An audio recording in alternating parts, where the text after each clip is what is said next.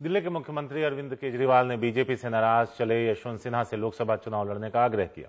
नोएडा में हुई रैली में केजरीवाल ने कहा कि अगर आप जैसे अच्छे लोग चुनाव नहीं लड़ेंगे तो फिर चुनाव कौन लड़ेगा? हालाँकि यशवंत सिन्हा ने केजरीवाल के प्रस्ताव का कोई जवाब नहीं दिया। यशवंत जी ने ऐलान करा था कि वो चुनाव नहीं लड़ेंगे। मैं ये कहना चाहता हूँ, सर, अगर आप जैसे अच्छे लोग चुनाव नहीं लड़ेंगे तो फिर कौन चुनाव लड़ेगा?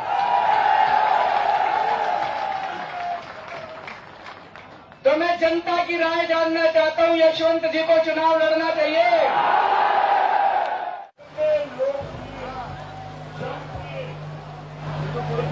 अच्छा और अच्छा नेता और मुख्यमंत्री अरविंद केजरीवाल जैसी क्षमता मुझमें नहीं है